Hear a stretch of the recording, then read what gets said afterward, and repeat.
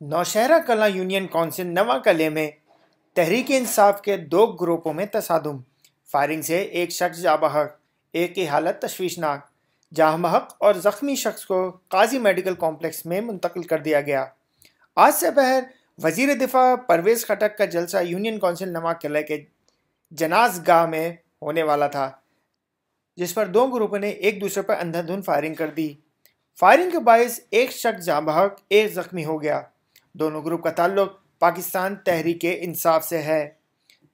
जहाँ जहाँ और ज़ख्मी शख्स को अस्पताल मुंतकिल कर दिया गया। दोनों ग्रुपों में एक ग्रुप वज़ीर दिफा परवेज़ खटक की हिमायती है, जबकि दूसरे ग्रुप का वज़ीर दिफा परवेज़ खटक के भाई सूबाई वज़ीर आबपाशी लियाकत खटक की हिमायती हैं।